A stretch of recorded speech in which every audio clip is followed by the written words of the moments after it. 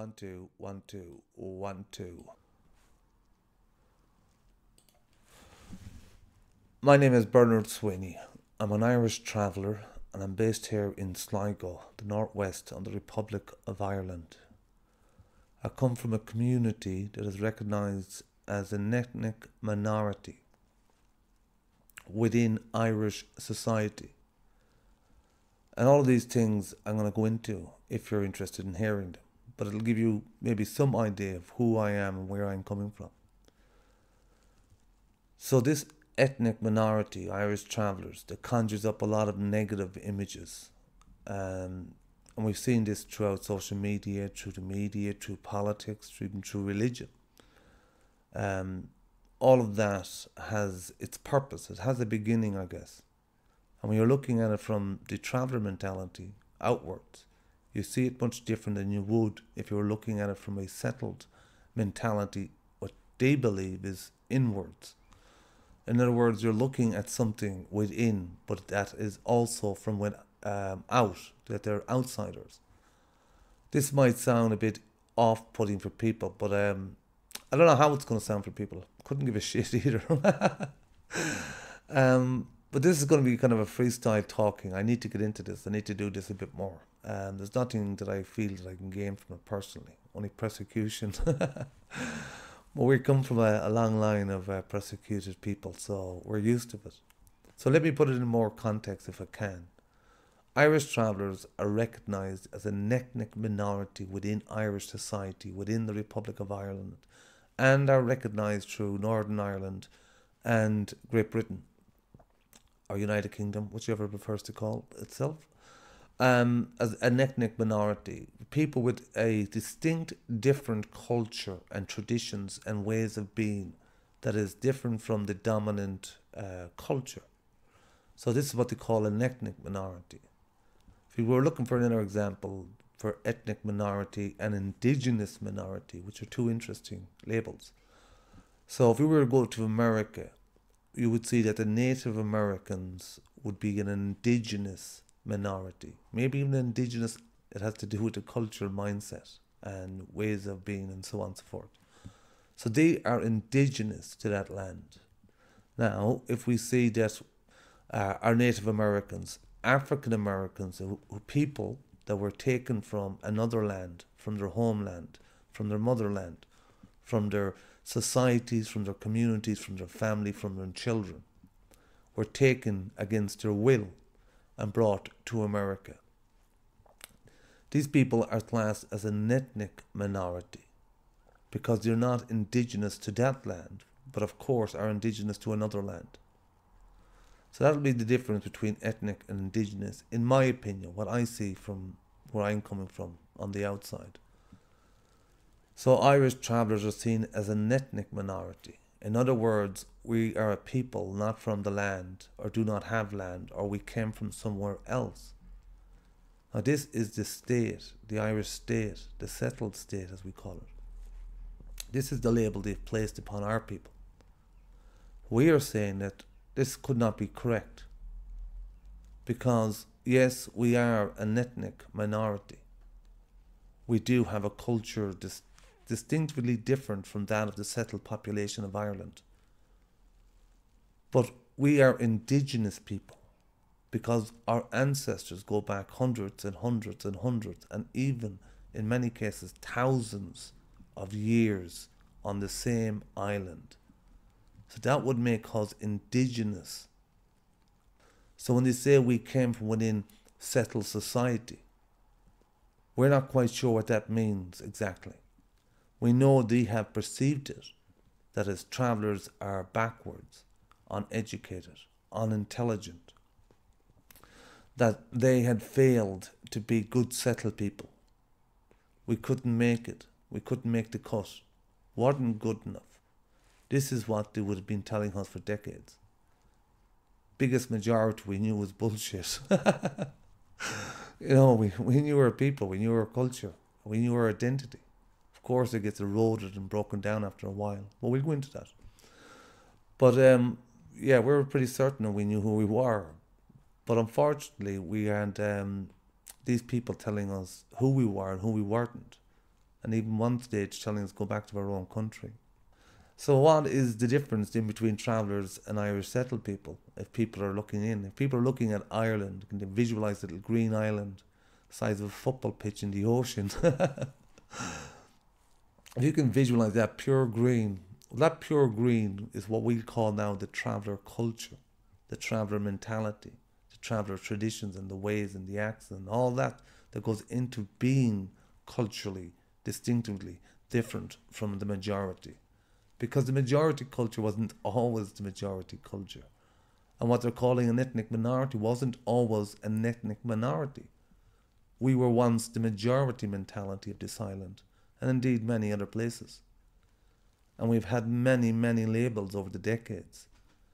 They call us Irish travellers now. Before that, it was tinkers, itinerants, hedge people, woods people, wanderers, bogs people.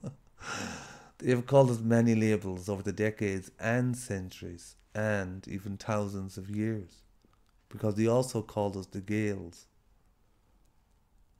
Interesting. It's interesting because when you're in that mentality and you come from that world and you're here now in the moment talking into this microphone, knowing that your father is your great chieftain, knowing that your granduncle, rest his soul, was your great king. and many queens and uh, warriors and fighters and traditions.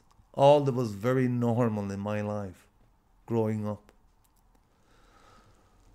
So, yeah, from then to now, you're talking to the same people.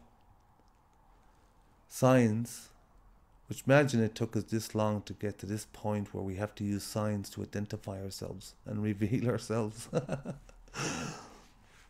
But in the science world, in the settled uh, dome, in the settled mentality, they're scientists. Because there's a lot of good in there, of course. And we'll go in there in a few minutes.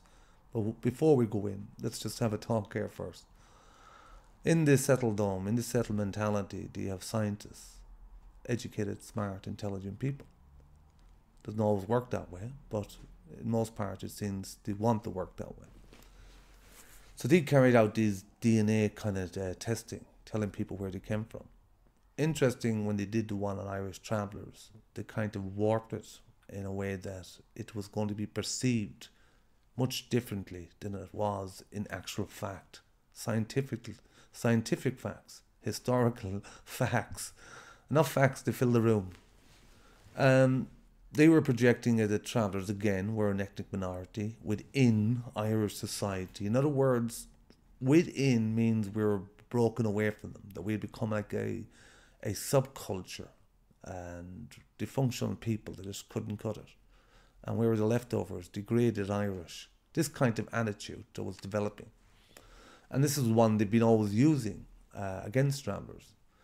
But the scientists, anyway, have done this genetic testing and they found that travellers go back hundreds and even thousands of years and without a doubt they come from the island of Ireland and also that there was a divergence. In other words, there was a genetic cutoff point. Now, keep this in mind when we talk about genetics. Every human, every human being on the planet is genetically related to one another. When you go right back to the days of Africa and times of Africa, before it was even called Africa, one historical mother, not sure about the father, was he absent? might explain a lot. but anyhow, uh, we're here now. But we're all genetically connected. Everything else is just concepts and labels and words from a language. But again, before we go into any of that, back out. So, yeah, all these labels and identities and where we're at now as Irish travellers. We came from that old culture, that identity, them various, I suppose, variations and mentalities. In other words, we don't always keep the same language. We don't always keep in the same environment because environments change. Um, everything changes. Culture changes. But there's an identity uh, marker. So when we talk about the, the divergence, uh, we're talking about a people that were once invaded. And because they came from the royalty of that society, which is completely different kind of royalty than the English or the rest of Europe. Again, we can go into all of that again. But yeah, just to say that we were not part of the European uh, project, colonized, yes, but our cultures, language, traditions, and all that from our ancestors' time was far much different, in opposite in many ways.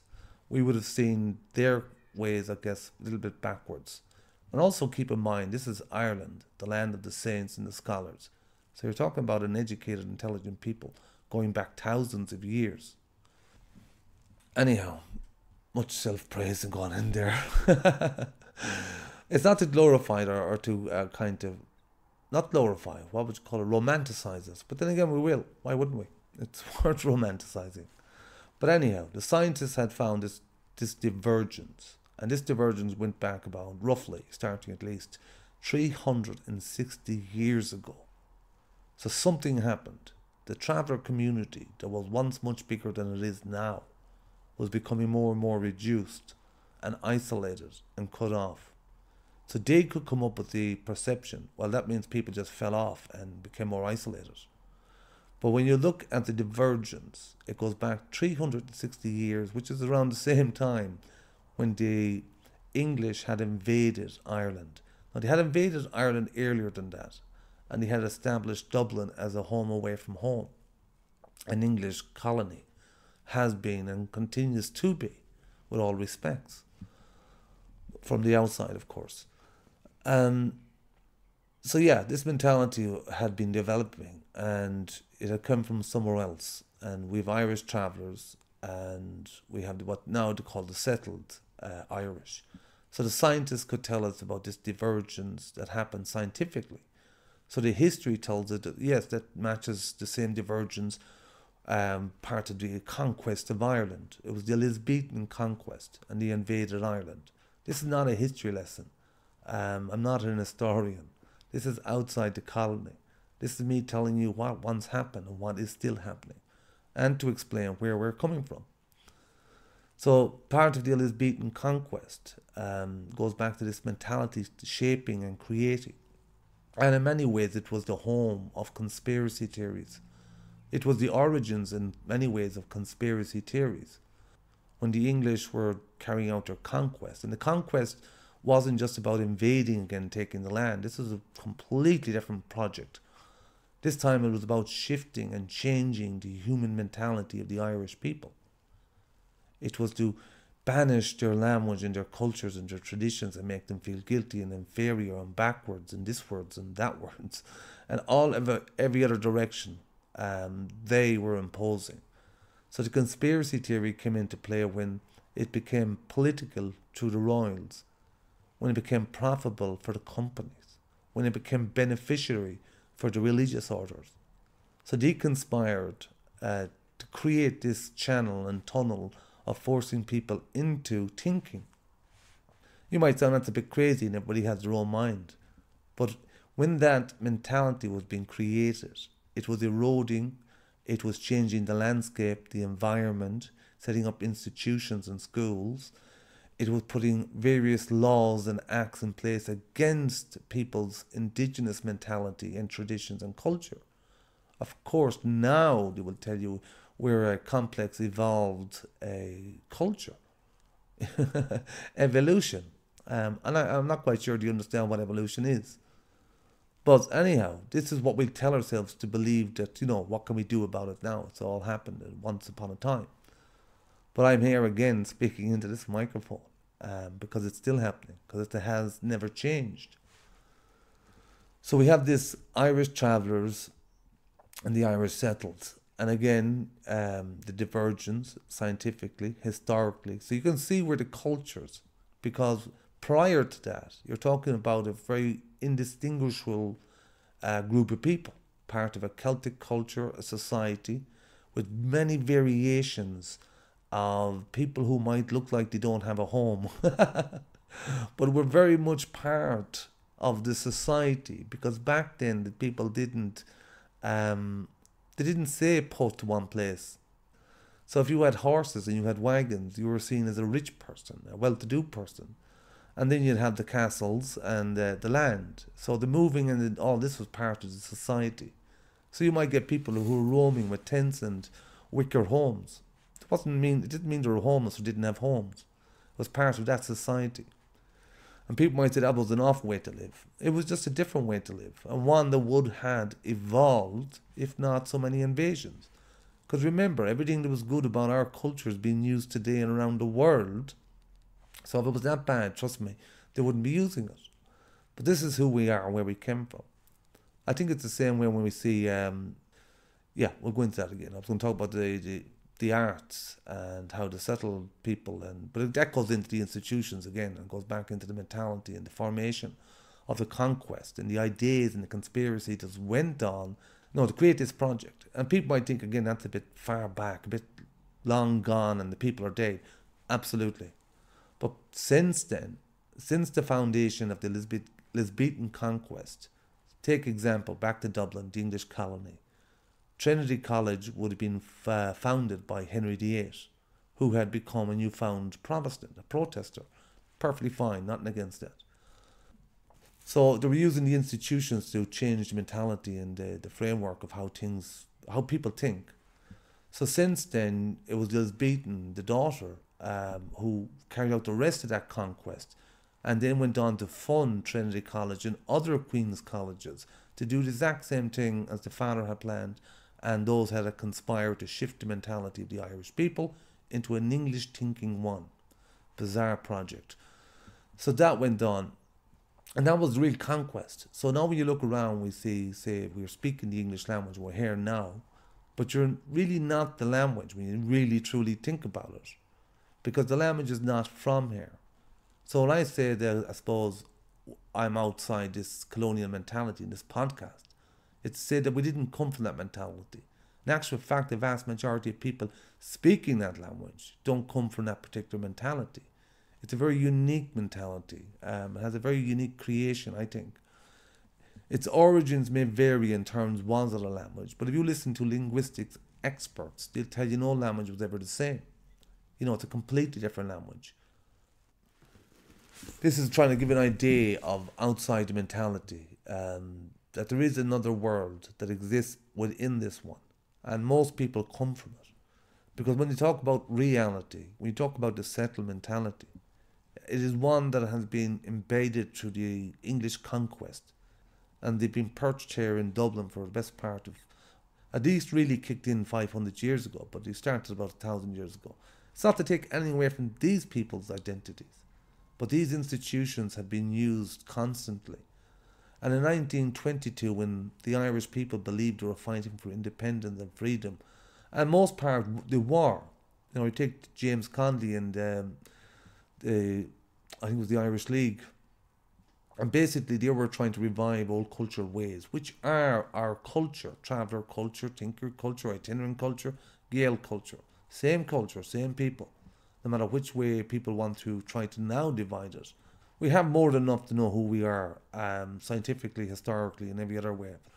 But it's not again in competition. It's about you guys think you've got you've moved on and you've left Hunt behind or something, or we're trying to play catch up, or we're kind of broken people. We're badly smashed up people. We've had 500 years of bombardment. Many of your ancestors had it also. But like everything else, this const- or this uh, conquest was a very carefully planned um, strategy. It wasn't an overnight project. It was to sh- uh, shift mentality, shame people, and then change that mentality into an English one. So when you came with the 1916 where they were trying to revive some of the Irish ways because they felt it was fundamentally important to counter the colonial mentality, full on systematic English mentality. No offense to English people, I'm sure they understand this at a later date. But um, yeah, so it became a very institutionalized language, and then it broke into kind of different variations. Like you had the public school for the masses, the lottery ticket. If you do well, good and well. Then you had the universities and the college, and they were kind of geared towards uh, the middle classes and then you had the private elitist schools for the, the richest of the richest. So that in itself is kind of a rigged education system. The people at the top are going to constantly uh, be doing well. People in the middle will be doing constantly doing what they're told if they want to get to the top. And the people at the bottom will continuously to be labelled and cut off and divisions and so on and so forth. That leaves nothing more to conflict. All of this might sound bonkers for a lot of people inside that mentality, particularly. But if you're outside it, you can see it as a kind of an objective way and subjectify it that way. It isn't that I live a world out here completely alienated from the settled world. I'm in sharing the same language, I'm in the same environment, but I'm consciously aware now more than I ever had been. And not that I needed much more awareness, but the knowledge and the education part that came at much later in my life um, had been more, more, yeah, most valuable in understanding this at this kind of level.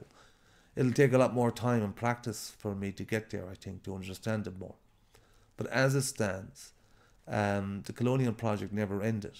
People have um, been colonizing themselves for the best part of few centuries, I'd imagine. You know, these institutions in education. But the difference is that they're being ran by people who were educated and institutionalized by these systems and the institutions to do exactly what the system wants them to do.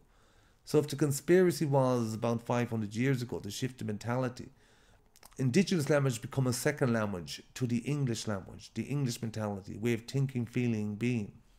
Get caught up with linguistics and biologists and all that kind of stuff, but I'm not there.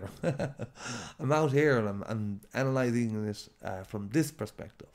And if people are wondering what the fuck am I doing any of this for, like I said, we come from the Irish traveller community, an ancient old culture. And this is how we see the world. It took us a while to get to use of these words because remember, we've been cut off for centuries. We were hung, we were shot, we were punished, we would be rewarded if we were to go with them. we are put into ships, transported, famines, conflicts, wars, you name it. All this stuff is Irish history. That's our history. They're our feelings. They're our people. That's our culture. And when you look at the settled population, again, when I say settled, again, this is the, where it gets kind of. Um, the settled is a colonial project. If you think of it like a, a program, uh, an indoctrination called education, but it's really a program because even linguistic experts will tell you that any language that has to be taught in an institution, it's something that's been conjured up. We're using the language, but it's about taking ownership of the language, kind of saying, I can take a step back from this. So when you do it like that, I know it sounds crazy, but when you do it like that and follow the English language, in the same way you would investigate something or look into something or deal with trauma or any of these things, just look at the language itself a history of inflicting trauma onto people. And why is this all important to Irish travellers? Well, because our community are suffering and dying as a result of these same colonial systems that has never changed. And the fact that nobody's even aware they haven't changed. Subconsciously peddling the same systems. People might think that as a kind of a morbid negative view, and there's a lot of good and a lot of positives in the settled speaking world and the environment and the world around us. And there's abundance of it. But if people do not know the systems they're operating and how they were designed and how they were put together and what was their purpose, belief, politics, and a company, that is what that language became, all in one. And it's kind of like we see the Western world, its origins in terms of the language, the colonial language. Because again, the colonial language, the one I speak of, the English one, was also conjured up of various other countries. There were colonial powers and they were the royals leading countries in the same way as CEOs run companies. And we don't come from that mentality. So I see that, but not criticizing it. Again, we're submerged in it. So I think there's a lot of room we can change it, improve it. I mean, look at the history. You can see it around the world. Now, if it's not Ireland with Irish travellers, it goes back eight, nine hundred years of extreme persecutions. Um, you can take it from anywhere else in the world uh, Palestine, India, China, Japan, New Zealand, Canada, and various other places. All of that is connected and related to our people, one way or another, historically and genetically, as all humans are. So this is some of the rants that I'll be going into and trying to get uncover in my own understandings and trying to make sense of the world through outside the colony podcasts. I'll keep doing this, not because I'm trying to win you over, or convince you otherwise. I'm doing this because we can save our people. Our people have some of the worst statistics on the planet where we didn't have the money a few decades ago. We've got some of the worst psychological issues. Suicide rates are higher than Ireland, and Ireland has 18.5 higher percent um, depression rate than the rest of Europe. So you can see from my perspective how psychological all of this is.